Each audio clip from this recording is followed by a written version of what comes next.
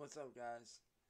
Now, as a lot of you guys may have guessed, uh, Marty has not been on live streams the last few days, and there's a very good reason for that. Um,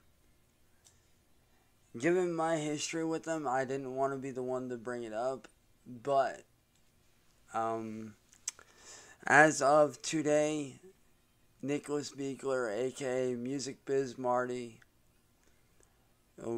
is currently facing seven years in federal prison for crimes that he's committed not only against me but other people as well. And to all the other trolls out there, I do hope that you guys take this as a lesson to leave people alone when they say to leave them alone. Because, yes, while it is true that you may not get caught right away, that may be true. But eventually, eventually your past will catch up to you. And you will be hit with karma, or in this case, you will pay for your actions.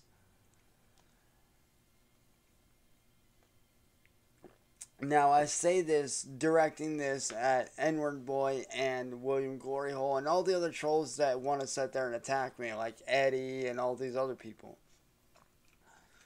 This right now is my one and only warning to you guys to back off and leave me alone.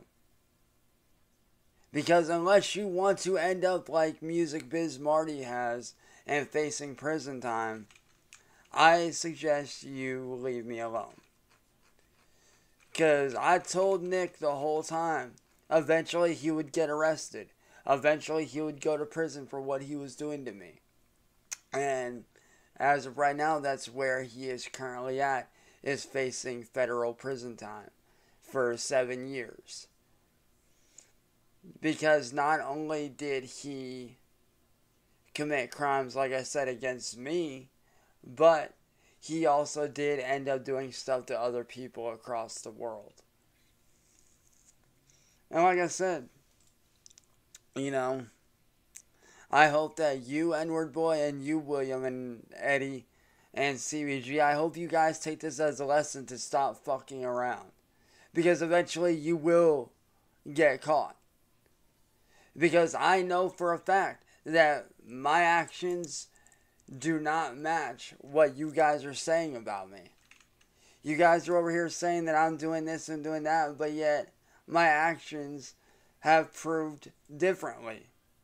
They have proved to be completely different than what you guys say that I'm doing. So, this is my one and only warning to you guys to back off and leave me alone now, or eventually you will end up like Music Biz Marty and you will end up in prison eventually. Like I said this whole time, it may not be a day from now, it may not be a year from now, but eventually, you guys doing what you're doing is going to catch up with you. It will. And when it does, you guys are going to regret it because you guys will end up prison up in prison for the things that you guys are doing you guys will end up in prison for the shit that you guys are doing if you do not stop what you guys are doing.